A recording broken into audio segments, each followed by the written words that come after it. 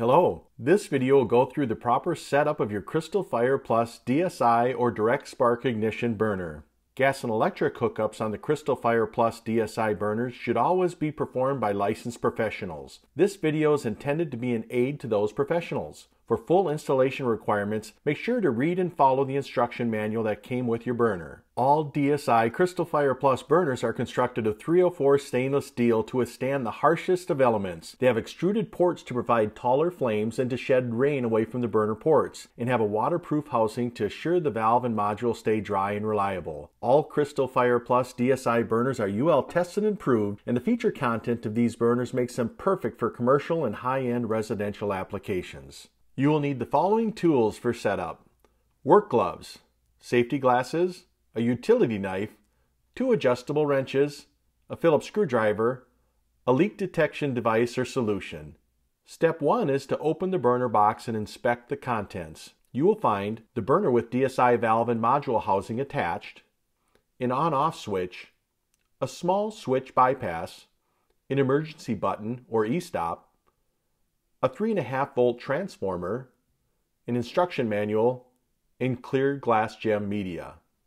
Crystal Fire Plus DSI burners are fuel type specific and need to be ordered for either natural gas or propane.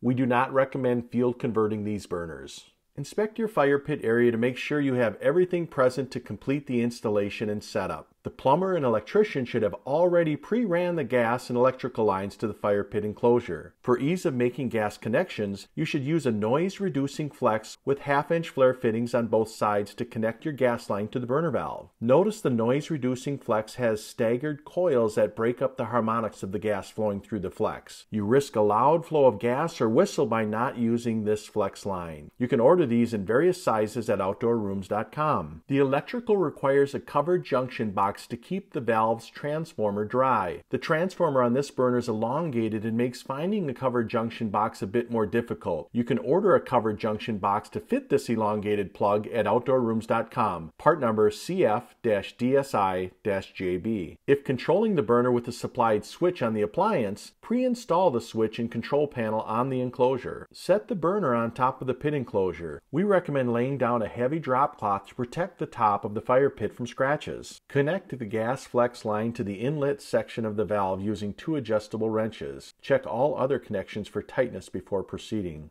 Now let's connect all your wires. Connect the 5-pin connector coming off the DSI box to the 5-pin connector coming off the on-off switch on the unit. If you desire to not have a switch on the unit, you will simply install the switch bypass as shown here to allow you to switch the burner away from the pit by controlling the power to the outlet to which the transformer is connected. Verify the wires labeled sparker, sensor, and ground on the DSI box are connected to the sparker, sensor, and ground wires coming off the burner. These connections should have been pre-made at the factory. Connect the positive and negative wires to the transformer wires. It is important that the positive goes to the positive and the negative goes to the negative. Before plugging in your transformer, it's important to know that if you have power to the junction box and if your switch is in the on position or you have the bypass switch installed, the flame will turn on. Best to make sure the switch is in the off position and your power is shut off to the junction box before this step. If you are using controls away from the appliance, your electrician should have wired a switch or timer on the electrical circuit and if applicable, install the e-stop on the same circuit. To test fire the unit and check for gas leaks, make sure gas is turned on to the pit area.